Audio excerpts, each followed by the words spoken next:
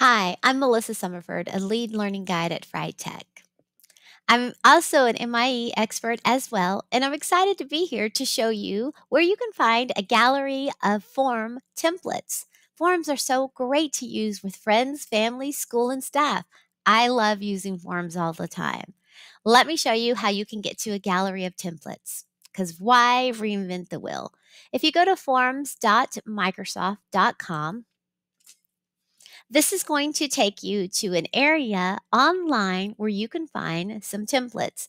Now, if you notice, you'll be able to start a quiz, start a new form, or a quick import. You'll see the forms that you have created listed as well, and even your groups.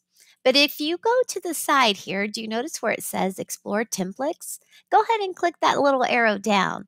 Now you're going to have more templates that you can use feedback and evaluation surveys, registration and application forms, academic research, quiz and assessments. If you go to View All, you'll see even more. And they're also separated by category. Look, student remote learning survey. If I scroll down even more, school trip parental consent form.